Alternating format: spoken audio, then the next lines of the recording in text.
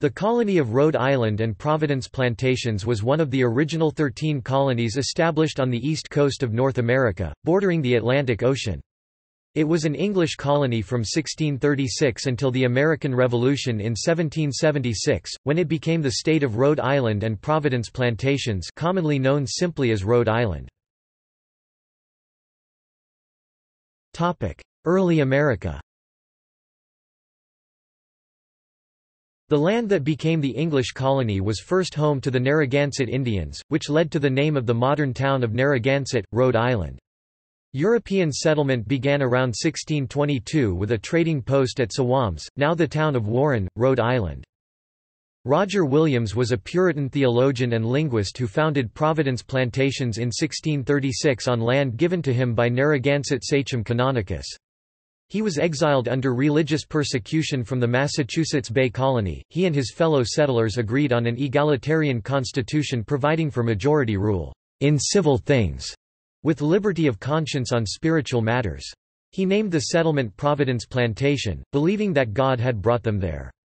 The term plantation was used in the 17th century as a synonym for settlement or colony. Williams named the islands in the Narragansett Bay after Christian virtues, patience, prudence, and Hope Islands. In 1637, another group of Massachusetts dissenters purchased land from the Indians on Aquidneck Island, which was called Rhode Island at the time, and they established a settlement called Pocasset. The group included William Coddington, John Clarke, and Anne and William Hutchinson, among others. That settlement, however, quickly split into two separate settlements. Samuel Gorton and others remained to establish the settlement of Portsmouth which formerly was Pocasset in 1638, while Coddington and Clarke established nearby Newport in 1639. Both settlements were situated on Rhode Island Aquidneck. .The second plantation settlement on the mainland was Samuel Gorton's Shawomet purchase from the Narragansetts in 1642. As soon as Gorton settled at Shawomet, however, the Massachusetts Bay authorities laid claim to his territory and acted to enforce their claim. After considerable difficulties with the Massachusetts Bay General Court, Gorton travelled to London to enlist the help of Robert Rich, 2nd Earl of Warwick, head of the Commission for Foreign Plantations. Gorton returned in 1648 with a letter from Rich, ordering Massachusetts to cease molesting him and his people. In gratitude, he changed the name of Shawomet Plantation to Warwick.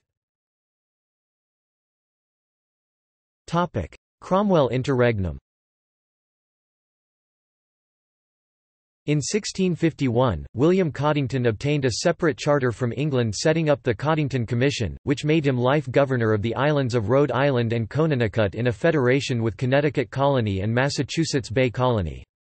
Protest, open rebellion, and a further petition to Oliver Cromwell in London led to the reinstatement of the original charter in 1653.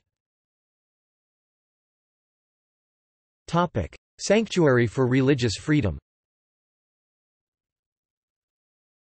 Following the 1660 restoration of royal rule in England, it was necessary to gain a royal charter from King Charles II.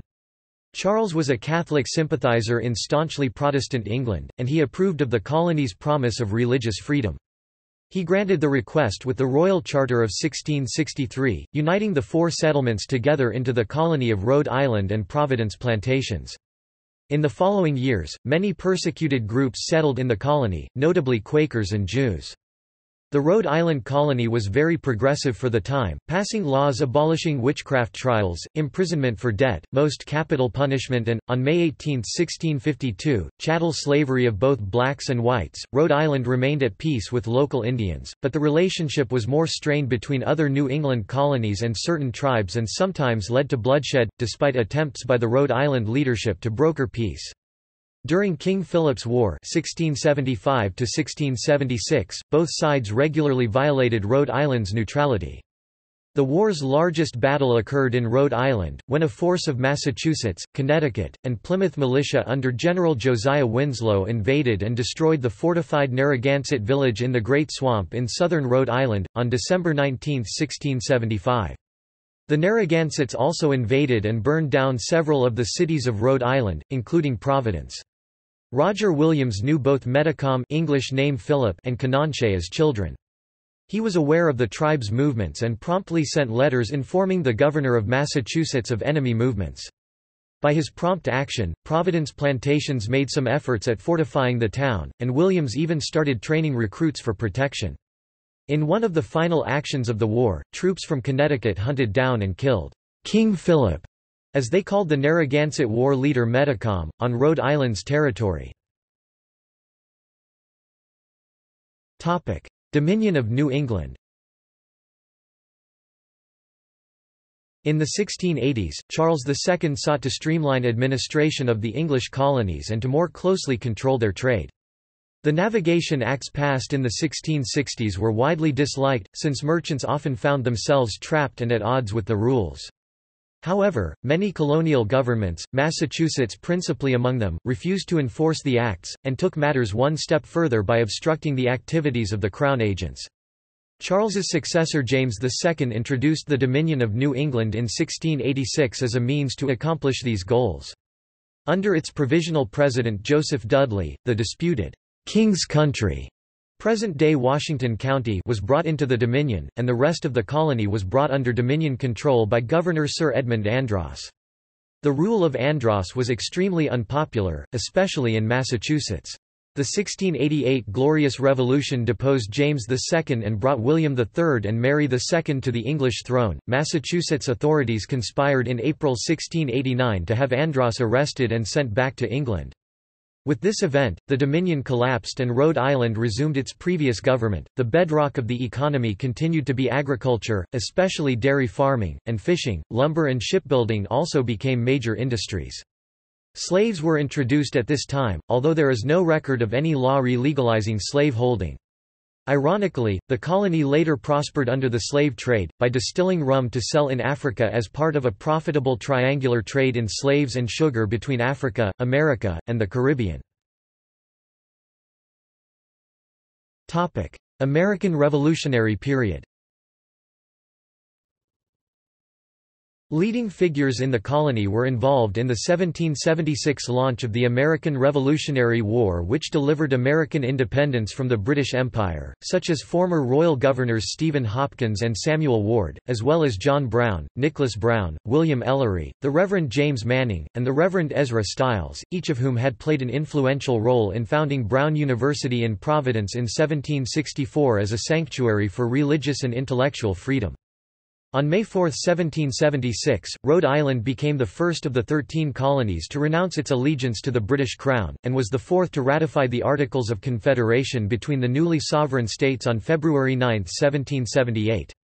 It boycotted the 1787 convention that drew up the United States Constitution, and initially refused to ratify it.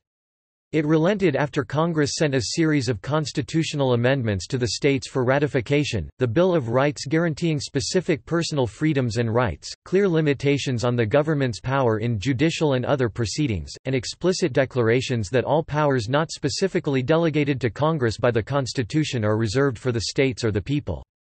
On May 29, 1790, Rhode Island became the 13th state and the last of the former colonies to ratify the Constitution. See also. British America. Topic. Notes. Topic. References. Arnold, Samuel Greene 1859. History of the State of Rhode Island and Providence Plantations Volume 1 1636-1700. Applewood Books. James, Sydney v. Colonial Rhode Island, A History 1975. Labaree, Benjamin 1979. Colonial Massachusetts, A History. Millwood, N.Y., KTO Press. ISBN 978-0-527-18714-9. OCLC 248194957. Lovejoy, David 1987. The Glorious Revolution in America. Middletown, C.T., Wesleyan University Press. ISBN 978-0-8195-6177-0. OCLC 14212813.